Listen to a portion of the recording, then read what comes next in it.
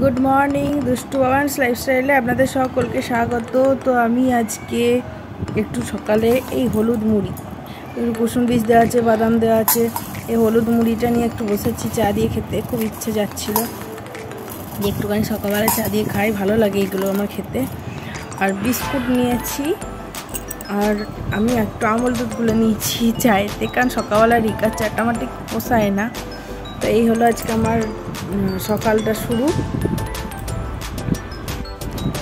আজ হলো শনিবার, আর এখন বাজে সকাল আটটা।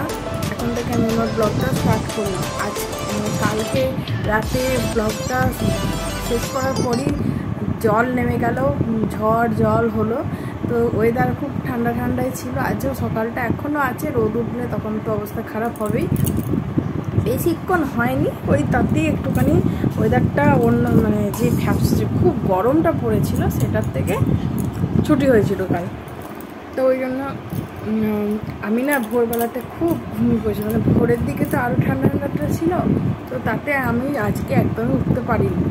তো যেই মাইমার সাথে ঘুরতে যাই, ফোন করেছে কবার, তাও শুনতে পারিনি অ্যালার্ম বেজেছে, তাও শুনতে পারিনি তারপর লাস্টে পাঁচটা দশে ফোনটা টের পেয়েছি, তখন বললাম মা আমি তো আজকে ঘুমিয়েই পড়েছিলাম, কালকে যাব। কারণ তখন আমি যদি ড্রেসটা পরতাম, তখনও তো একটু টাইম যেত। তো সাড়ে পাঁচটা বেজে যেত, অত সকালে আর যেতে ইচ্ছে করে না, অত মানে বেলাতে। সেই জন্য আজকে দাঁড়াও যায় তো দুধ নিয়ে চলে এসেছিল, তার জন্য ওকে চা দিতে চলে গেছিলাম। আমি চাটা খেয়ে নিই। হলুদ মরি দিয়ে চা খেতে সত্যি খুব ভালো লাগে। মানে এক প্লেটে চাল ভাজাই।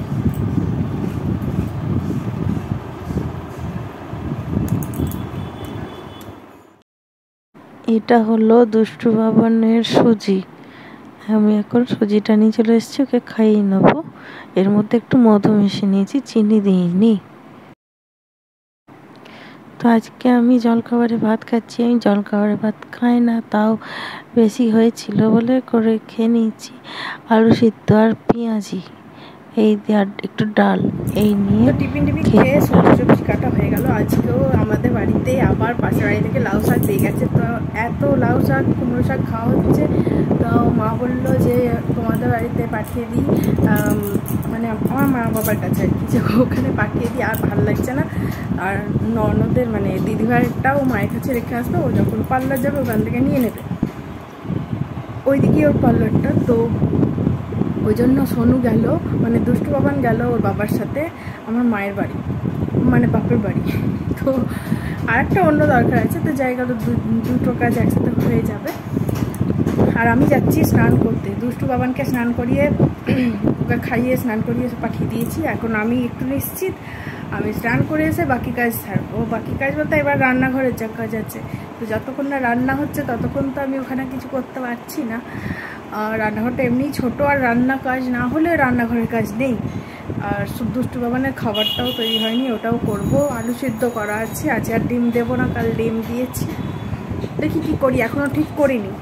কি দেব? বুঝতে পারছি না, দেখি কি আছে সবজি। তো সেই অনুযায়ী দেবো। তো চলো আর বক বক করব না, স্নানটা ঝট করে সে চলে আসি। গরম করছি। আর আজকে আমার একটা ছোট্ট প্ল্যান আছে। আমার তো ইনস্টাগ্রাম অনেক রিল ডিলিট হয়ে গেছে, ভালো ভালো রিল ডিলিট হয়ে গেছে। স্টকে সেরকম কিছু নাই। তা ভাবছি কিছু করব। দেখা যাক হয় কি না দুপুরবেলা যদি গরম খুব না থাকে এখনও অবধি গরম খুব একটা নেই, পাকা হাওয়াটা ভালো লাগছে। যদি এরকম থাকে তো করব ভাবছি, দেখা যাক। হলে তো দেখতেই পাবেন। তো চলুন। তো আমি দুপুরে খাবার নিয়ে চলে এসেছি। ভাত, উচ্ছে ভাজা আর লাউ শাকের পোস্ত, শুধু লাউ শাকের পোস্ত আর এদিকে পটল আলু দিয়ে তরকারি। এই হলো আমার খাবার।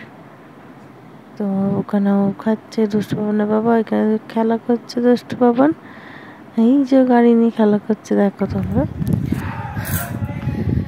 খুশির খবর হলো, আজকে তো আমি ভিডিও করতে পারলাম ওটা দেখানো হয়নি আমি। ওই পিঙ্ক কালার, আপনারা শর্টেই দেখতে পেয়ে যাবেন। তো আমি শর্ট করতে পেরেছিলাম, রিলস বানাতে পেরেছি অনেকগুলো। খুব খুশি হয়ে গেছি, খুব। অনেকগুলো স্টকে করলাম। আর খুশির খবরটা হলো, ঝড় উঠেছে। আবার ঝড় হচ্ছে মানে বৃষ্টি হতে পারে। কালকে কি সুন্দর ঠান্ডা ঠান্ডা ওয়েদার ছিল। তো আজকেও মনে হচ্ছে হবে। হাওয়াটা দিচ্ছে, বেশ ভালো লাগছে। হাঁপিয়ে গেলাম, নিচে গেছিলাম, নিচ থেকে উঠলেই হাঁপিয়ে যায়। যাই হোক। আর রাতে আজকে হবে কুমড়োর তরকারি আর রুটি। যাই হোক, তো কি করা যাবে?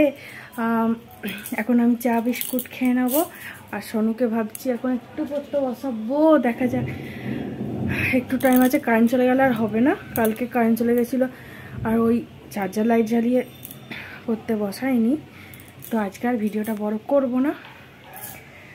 যদি ভিডিও ভালো লেগে থাকে অবশ্যই লাইক শেয়ার কমেন্ট করবেন আর পাশে থাকা বেল বাটনটি টিপে দেবেন। লাইকটা অবশ্যই করবেন। আর সাবস্ক্রাইবটা একটু করে দেবেন। একটু কষ্ট করে। আমার উপকার হবে। তো যাই হোক। তো গুড ইভিনিং এখন গুড নাইট বলব না। সুস্থ থাকবেন, ভালো থাকবেন, আনন্দে থাকবেন। আজকের মতন আসি আবার নতুন ব্লগ নিয়ে আসব। কালকের মতো তো টাটা।